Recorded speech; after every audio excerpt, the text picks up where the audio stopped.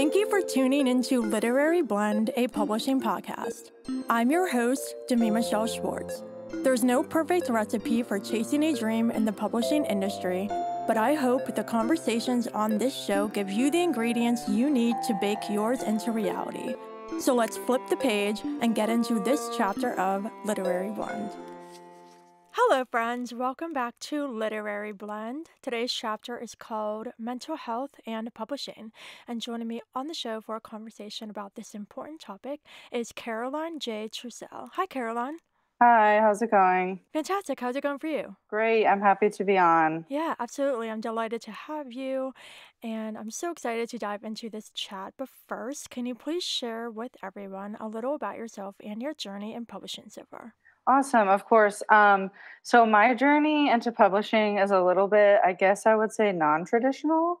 Um, I so I like graduated from college, and then I wasn't exactly sure like what I wanted to do. I knew I wanted to do something that had to do with writing and editing. So I was in journalism for a little bit, and then I was a technical editor, and I did some consulting with like the government, lol.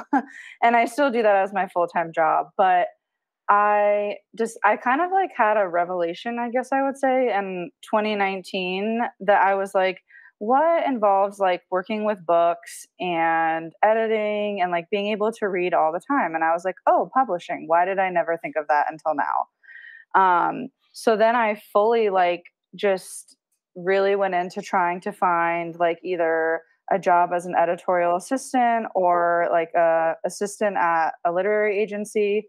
Um, I did a lot of research because I feel like there's kind of a kind of a curtain there with some of the information like around literary agencies. Like it's super mysterious, I think sometimes. Um, but I honestly, I cold emailed like a bunch of agencies and I was like, can I please be your intern? Um, and I was able to get an internship with the Jennifer De Chiara Literary Agency. Um, so that's kind of where my, I would say, career, I guess, in being or like in like the agency side started. Um, so I did that for about nine months. And then I actually did the Columbia Publishing course in 2021, which was super helpful. Um, I feel like it helped just kind of solidify that I wanted to be a literary agent. Um, as much as I loved hearing about like being an editorial assistant and being like on the editorial side at a publishing house, um, I felt like I really liked the idea of having like a career long um, partnership with authors. Um, so then I started after like I did the course. I um, I was a reader for the Bent agency, um, so I like read and evaluated manuscripts kind of on an as needed basis. Um, and then finally landed an internship with my current agency, which is Metamorphosis Literary Agency. And I've been with them since like mid beginning of 2022. I should know the exact date, but I don't. um, I want to say it was like May, I think. So I think I've been with them actually exactly two years now. Um, and I became an agent in December 2022. So that was a very long story, but it is a long journey, but if you're passionate about it, it's definitely worth it. I love that so much. And I totally relate to the whole thing of the mystery behind a lot of things in publishing. I feel like until you actually start doing something in publishing and meeting people, it's really hard to know everything that goes on behind the scenes. And it's been really eye opening for me over the past couple years, learning things. And just have to say, because butterflies are a huge part of my brand, Metamorphosis is like the coolest name for a literary agency. So you guys win. Thank you. I yeah, I saw that. I was like, oh, she really likes butterflies. I like, yeah, I I love the name too. It's like I don't know. I can't remember what the philosophy is. Like I know Stephanie, the CEO, probably has like a philosophy for why the name is. I guess. Tra- I guess we help transform our authors into the best they can be. Yeah they can metamorphosize. Yeah, so or metamorphose, whatever the word is. perfect. Well, wonderful journey for you so far. So congrats on all of that. And now let's shift into our chat. So to kick us off, what are some general thoughts you have about mental health and the publishing industry? I love talking about this. Um, if anyone follows me on Twitter, they know that it's something I talk about quite a lot, maybe too often. Um, I feel like as far as like mental health as, as it connects to like publishing, um, publishing can be a very like hard industry to be in. Um, it's very subjective, as every anyone who's ever queried knows that. Um, that's what a lot of agents say. You know, when they when you get a response from them, um, and I think as far as like mental health and publishing, like it's just very important as you know a writer or an agent or whatever like role you play in publishing to understand like you're dealing with like another human being and to just be like as kind as you can um, especially when it's like something that someone has kind of put their whole heart into like which is you know when someone writes a story it's not just like oh i'm just gonna like write this random thing. Well i mean maybe it is but it's still like they put like their heart and soul into it so I think it's really important for like authors to support each other, for agents to support each other, especially now. Um, there just seems to be kind of a lot of like discord. Um, not really sure why. I mean, I, I have some ideas as to why, but like, I think, I think we might talk about that later. So I'll save it. Um, hmm. but I don't know. I think, yeah, I don't know if um, that kind of answers like the question, but if it's more like around you know being on submission like being able to like just do self-care and like just give yourself grace because whether you're like someone who has an agent who's on submission or someone who is an author who's trying to get an agent or even if you're just doing like independent publishing self-publishing like it's hard out there. There's people who are going to think your writing is the greatest thing ever and there's people who are going to think it's I hope they wouldn't say it's the worst thing ever, but they might not quite be their taste. So it's like just giving yourself grace and understanding like you should be prioritizing your mental health like no matter like what it is. Yeah, no, so many great points, and we're going to expand on several of those during our chat.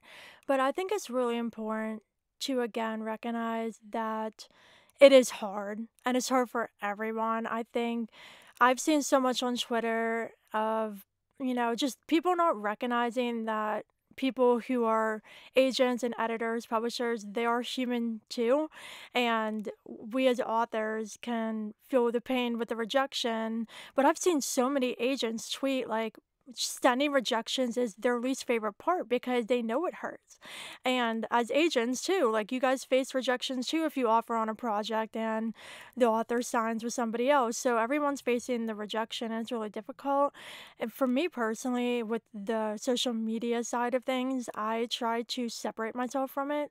And for a while, I would just go down these rabbit holes and scroll, scroll, scroll, and it would really mess with my head. And when things online mess with my head, it messes with my creativity and it's hard for me to focus on writing, which isn't a good thing.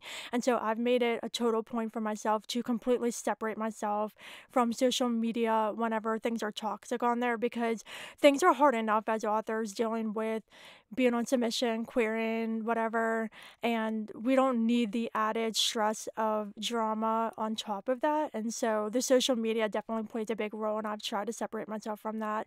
And to your point, too, about the subjectivity, that's always hard because I remember when I was querying, I went through so many edits. I got so much feedback on my book, my third one before I started querying. I really took my time with it.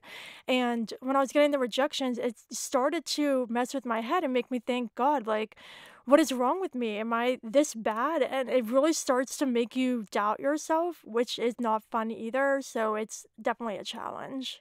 Yeah, I completely agree with you. Like, I have, I've been at points where I've had to just, I've turned my notifications off for like Twitter and TikTok and things like that. Like I do go on both of them regularly, but I literally will be on there for like 5 minutes and I'll immediately get off and like I'll you know, I'll have my my accounts that I follow that I know they're like pretty positive or like just supportive and stuff and then I'll just get off because I was going down the same rabbit hole um because i'm i'm also like an author i write as well and i actually am querying right now um which people some people don't know some people do. So i totally relate to the whole rejection thing and like i have gone through like imposter syndrome too on that side.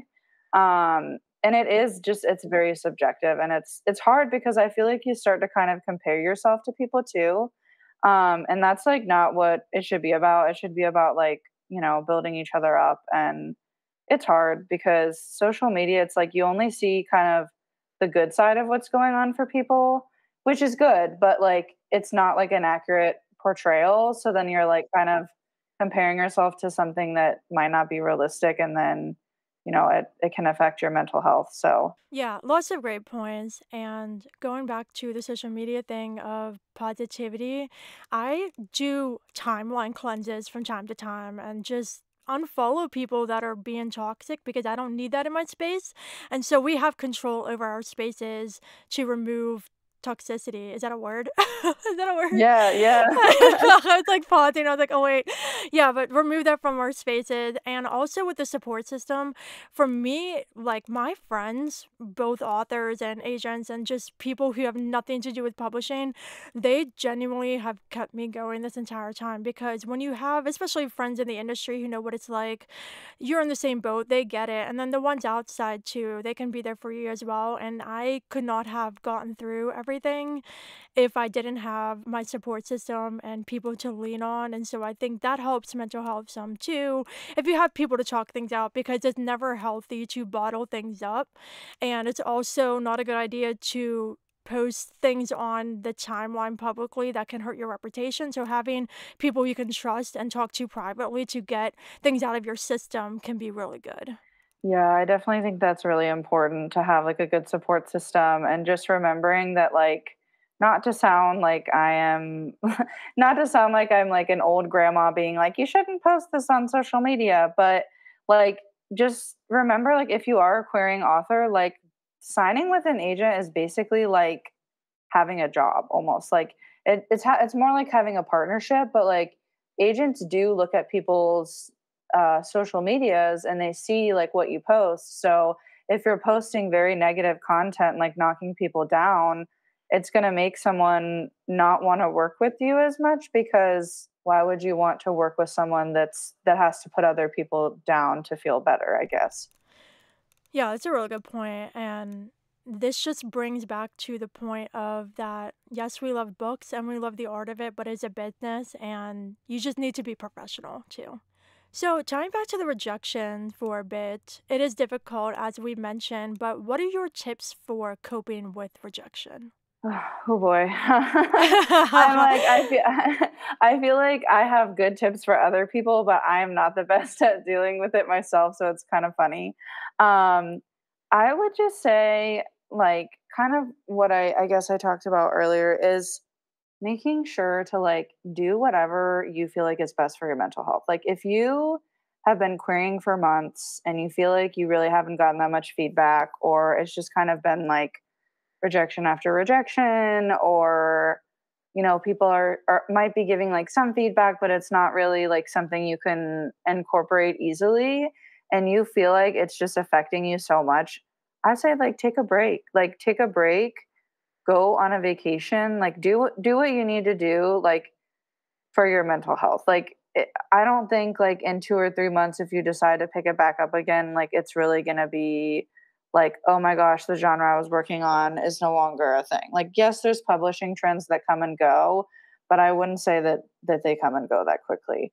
Um and then as far as like just yeah so self-care is like i would say the number one tip i have. And then I would say kind of going back to what we were talking about with like the support system, like really utilizing your support system that you have, whether it's like friends outside of like publishing that may not be authors, they might not know anything about like, you know, querying or things like that, or if it's fellow authors that are in the same boat that that are really familiar with what you're going through. Um, I think that makes a world of difference just like having people you can talk to and like um, just kind of like i wouldn't say vent but just you know like share share what you're going through with. I know it's really hard when you get like a number of rejections but really remembering like why you're a writer like why you enjoy writing and the fact that it's because you have a story to tell and you have to tell it. Um, and i think trying to like just focus on not just focus on it but try to focus on that at least partly um, I even have like in my rejection that I send out to people, like, you know, like I hate form rejections, but sometimes they're necessary. Um, I even have like in my form rejection, like, please, like, don't forget like why you love writing and continue to like hone your craft and remember like why you're a writer or something along those lines because I don't want people to get so discouraged that they're like, I'm just, I don't want to be a writer anymore. Like, if you're a writer, you're a writer for a reason, and it's because you have a story to tell. So I just don't want people to forget that. Yeah, so much great advice there. And I think it's really important to return to the root of what you're doing and why you're doing it and discovering that love again if you feel like you've lost it. And you made so many great points, but just to that, I wanted to add first, a big thing for me when I was querying was celebrating the small wins like if I got a personalized rejection, that was huge for me because, like you said, form rejections are necessary, and knowing the amount of queries that agents are getting now, it'd be humanly impossible for everybody to get personalized feedback. So whenever I got personalized feedback that was encouraging or maybe even a rejection with actionable feedback that I was able to apply, I saw that as a small win because that agent took extra time for me. And the second thing I will say is that I always was working on something else while I was querying because I think number one it I feel like it helped me get an agent quicker because my third book got me an agent, but I was only querying for a year and four months because I was always writing and working on the next thing. But more than that, it helped me stay connected to the craft. That book that I was writing while I was querying didn't have all the pressure of, oh my gosh, like, do I need to make all these changes in the opening pages? Is a query letter bad? All that stuff. When I was writing it, I was in a new story I was enjoying. It was a work in progress. I was having fun with it. I was reconnecting with my love for writing, and that really kept me going and now being on submission i'm doing the exact same thing. And so i think it's really important to always have another project going if you can because it helps to remind you why you love to write.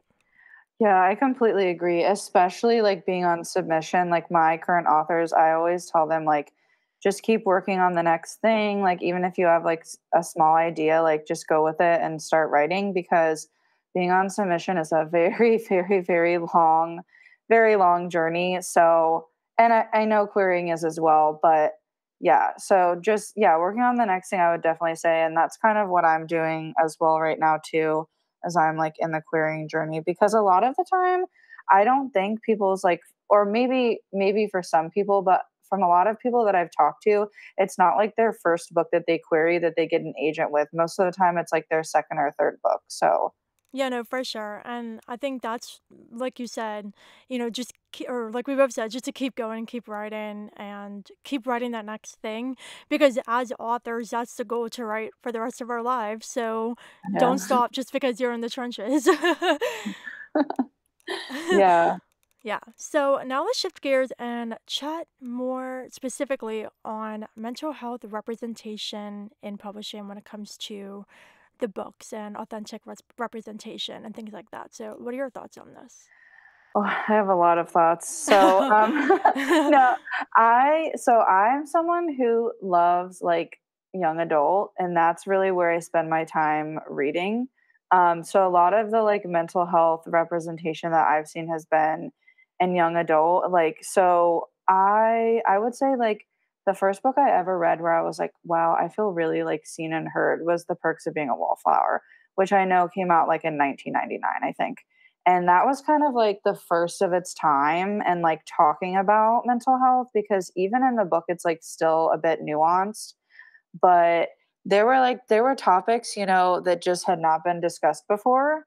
And I felt like it was so important to talk about mental health, especially with that age group and also in middle grade as well but like especially with young adult because you know like 13 to 18 like that's when i i remember that's when i realized like i i was dealing with like mental health struggles and that's really when you're kind of like finding who you are and like forming your own opinions and everything outside of like you know what you were taught as a kid and stuff. So i think that was like the first book and then i feel like there are some books who have done a great job of portraying like mental health like i would say like some great examples and these aren't necessarily like new books but like these are some of my favorites and like some that i think do a really good job of accurately portraying like different you know mental health struggles I would say um, Turtles All the Way Down by John Green. That is one of the like best books I've ever read and like most accurate as far as um, mental health representation. I feel like I actually discovered that I have OCD from reading that book. Um, and then I met like, and then I met with like a professional and I was diagnosed with it. But like that book literally, like it was so accurate that I was like, oh my God, this is exactly what I'm dealing with. And it was able to kind of sh- lead me and like change my life. Um, so I would like highly recommend reading that book to anyone if they want to learn learn more about OCD or just like it has a good plot as well, but the representation is just so accurate. Um, and then another one is Words on Bathroom Walls. I don't know if that one's as popular. It actually was a movie as well, and the movie was pretty good. Um, it talks about um, a teenager in high school who deals with schizophrenia. And the portrayal of it I really liked because even though he had like treatment resistant um, schizophrenia, um, it still talked about kind of like the joys in his life. So like he loved cooking. Um, and it was just like it was kind of funny because it, it talked about like, you know, his everyday like struggles, his everyday like things that he dealt with as a teenager outside of like just his mental illness that he dealt with. And the main character, his name's Adam, he was so just like sarcastic and funny. Um, and I think it's really important, like, if you're gonna write like a I don't want to say like very serious book, but if you're gonna write like a contemporary or like young adult book or like a literary fiction book involving like mental health is like one of the main themes, it's also important to make it not so triggering that people that have those things like aren't even able to read it. So I think that's like a really big thing that I kind of like try to advocate for because there are things that like I I I want to be like a mental health advocate and I think I am and I want to take on people who have health, mental health representation and their stories but if it's done in a way that's like very triggering to individuals who deal with mental health struggles like it it's not really doing like what it came for like for lack of a better term i guess I don't know. Like this is a very probably unpopular opinion, um, and no offense to Matt. I think it's Matt Matt Matt Haig Matt Haig.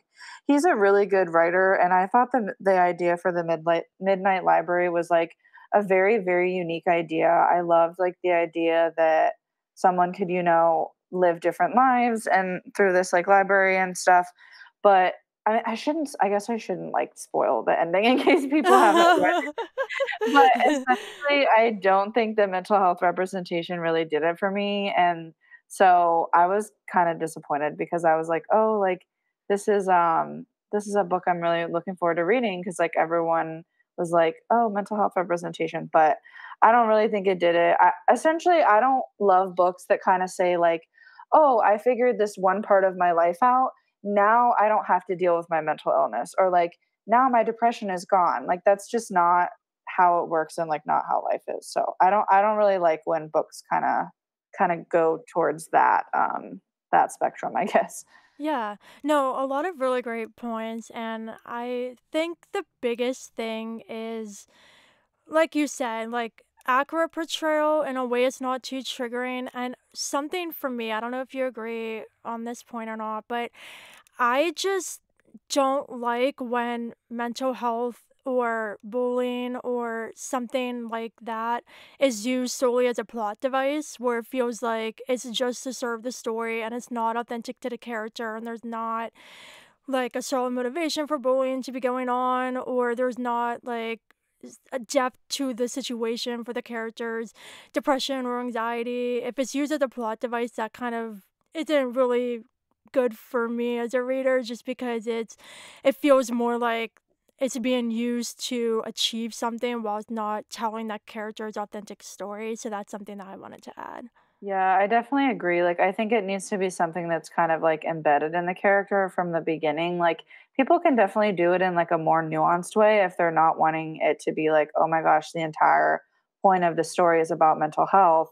But I mean, and this is like different than mental health. This is chronic illness. But like with Fourth Wing, like how Rebecca Yarros, you know, incorporated like the Ehlers-Danlos syndrome for Violet like throughout the entire story, but it, it wasn't like a plot device. It was like it was actually kind of a strength. Um, so things like that I feel like are and it takes a lot of skill to do that, but you know, I think it's important. Yeah. And the other thing too is that um, I think this goes for any kind of representation, like a mental illness or disability. It's also just important for me specifically, and I don't know if you agree too, that that's not the character's only label. Like there's more to them. They are not their mental illness, they're not their disability. They are their own person and they have good parts about themselves and you know, they have different parts of their lives and so I think to also stay away from instances of making somebody's situation their full identity because I don't think that's really authentic.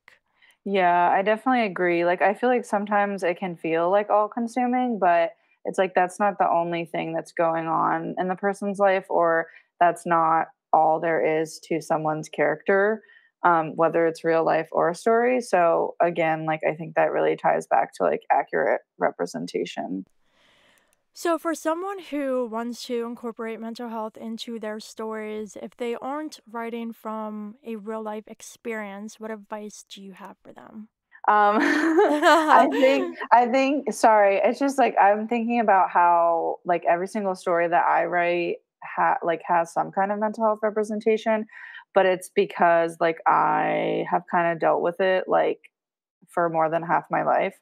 Um, and I think I think that's coming from a really like pure pure, I don't know if that's the right word to say, place if someone is wanting to like write a character that deals with mental health struggles, but yet they might not themselves. I think it's really important to have like sensitivity readers, um, making sure, you know, again, that the content that they're writing is not like too triggering. Um, probably talking to individuals that have like the specific mental health struggle that the individual is writing about, or if it's like more than one, talking to individual, like just whatever it is, an individual that has it and doing research because I feel like as writers, like even if we write in um, genres that aren't like super, you know, uh, I don't know, like they don't require a lot of research. Like we're not doing like, you know, narrative nonfiction here. Like it, it still requires like a little bit of research, I feel like, when you're writing, even when it's like fantasy or, um, you know, contemporary, whatever, like you might have to research like just one or two things. So like doing research, like looking at articles. Um, there are a lot of good resources for like mental health. There's like the National Alliance on Mental Illness. Um, that's like one of the ones that I really follow. Um, there's like National Institutes of Health. Um, they do a lot of like hardcore mental health statistics and things like that. Um, so like as far as like the research aspect, like I feel like I would like recommend doing that. But then having like sensitivity readers and um, just like talking to people who actually deal with um, whatever they're writing about and approaching people could be like a bit difficult. Like, hopefully, they would approach like people they already know because if it's someone they don't know, it might be a little bit of like an odd conversation. But I think nowadays, like, it's like I think it's less than one in four. I think it's like I feel like it's like either one in three or something people deal with mental illness. Um, and probably after the pandemic, it's like it's probably really one and two because a lot of people don't don't share and don't talk about it just because it's still kind of taboo. But yeah. yeah. Well, a lot of great advice again. And the one thing that I will just tap on at the end is that everyone is their own person and they're all unique. And so I think it's also important to stay away from 100% stereotypes because that can also come off wrong. Oh, yeah, definitely. Um, yeah, it's. Uh, sorry i'm like i don't want to make it about me but as someone who has as someone who has like ocd like it's the it's the portrayal and the media of it is very inaccurate and like there's a lot of like stereotypes around it um, and it makes me like really angry sometimes because people are like, oh, you just like your shoes in a certain way. And I'm like, no, it's actually like can be very debilitating sometimes. So I totally agree. Fabulous. Well, this has been a wonderful chat. And just to wrap up, what are some final thoughts you have on mental health and publishing? Um, I would just say, like, everyone now is like the time to be supportive of each other and just remember again that we're all human beings like we're all just like trying to do our jobs or like whatever we're passionate about um so just remembering that and then also like if you're wanting to include mental health representation in your stories like make sure you're you're doing your best to do it in a way that would um you know pe- what people would resonate it would resonate sorry with people that deal with the same mental health struggles Fabulous. Well, Caroline, it was a joy having you on the show for this fantastic conversation. And this brings us to the plot twist, where I get to ask you a fun question you could have never seen coming. Are you ready? Yay. Yes, I think I'm ready. Let's see what it is. so this is gonna be fun. So imagine that you are getting the opportunity to open your own library. What would you call it and how would you decorate it? Oh my gosh, that's like a dream come true. Um, okay, I, I gotta think about it. Like, I always want to like incorporate because I okay, so I have like my nickname is Care, like C A R E, um, and then like I for a lot of my like usernames, I'll do like True, like T R U. So it's like I always like play on like True and like Care. So I'm like, let me think. I feel like it would be something like True I don't know. this is tough. Uh, okay, let's see. True. Well, how I would decorate it, I'll start with how I would decorate it because I'm like having struggling with the name for some reason. um, I feel like I would make it like almost like, oh my gosh, if I could do like whatever I wanted, like I would have the library open like super late um, so that people could come. Because sometimes the library, at least here, like in Jacksonville, Florida, I know like people work there, so like they have to have, you know, work life balance. Um, but sometimes it closes at like 6 p.m. and it's so depressing because I want to go and like sit and write at the library, but then it closes really early. Um, so I would have it like open to like 10, 11 p.m. if I could. And I would have like fuzzy bucket chairs. Like it's kind of hard to explain, but I have like a bucket chair in my loft that I'm in right now and it's like super fuzzy and really comfortable. So I'd have like those. I would have like beanbag chairs. People could like lay back in and like read. And I would kind of want to keep like some of the traditional stuff. Like I really I know the chairs at libraries are uncomfortable for the most part. Like the the wooden chairs with like the tiny like padded back that's like not even really padded um but i would want to keep like probably like some parts of it like traditional looking but i also would love to have like little like fairy lights like along just like i don't know along the perimeter like along everywhere um and then kind of like almost it would be really cool too to like somehow the ceiling could like look like a galaxy. Like I don't know how. Oh, that's cool. That, but yeah, I'm really into like space. Like I actually wanted to be an astronaut when I was younger, but, but I'm not smart enough. So, um, okay, so back to the name, I guess, and I probably would do like war- warm tone. Like I don't know, I would do like gray. Gray, brown, and then mixed with like pink. Like those are kind of like I tend to do like nude tones, like when I'm decorating stuff. So I like to do like that. And then also maybe sage green because that's like one of my favorite colors. But okay, name of the library. Like truly yours library. I don't I don't know. Some something like that or um something about caring like we care about. No, I don't know. I'll, I'll, I'll stick with like true truly yours, I guess. Oh, that's cute. Because I'm like I don't know. I'm like I should be more creative than this, I guess, but I can't think of anything else. Well, it sounds like a very comfy library. I would want to go to that one. Yeah, I would want it to be like a place where people could come and like hang out. Like, you know, if they're not like if they don't have stuff to do on like a Friday night or whatever, like come to the library because I'm like, I'm at, I mean, I'm only 28, but I'm like at an age now where I'm like, I would rather go like spend time at the library than like go out like that. So. Before we go, I would love for you to share with everyone where they can find you online and check out your manuscript wish list if they are interested in querying you. Of course. So I'm mostly on Twitter, and my I don't know why I always have trouble remembering my thing, so I'm looking it up right now. I am at Caroline J T R U Lit as in literary L I T on Twitter slash X. I don't know what it's even called now. Um, and then if you'd like to find me on TikTok, I post a lot about writing on there and just like some fun, funny stuff about my cat as well. And I am also Caroline J True Lit on there. Um, those are the two main, I would say, social media sites that I use.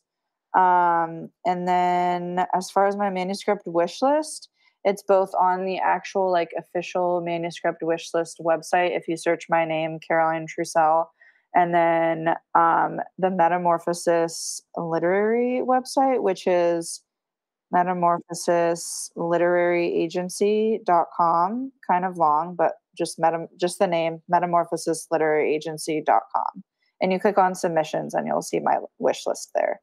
Fabulous. Thank you so much for joining me of course. Thank you so much for having me. Yeah, absolutely. And listeners, that is a wrap on this chapter of Literary Blend with Caroline, all about mental health and publishing. If you enjoyed our conversation, please consider leaving the podcast five stars and giving it a review to help others just like you discover it. Also, if you have friends in publishing who you think would enjoy the show, please pass it along to them. Thank you for listening, and until we flip to the next chapter, happy reading and writing.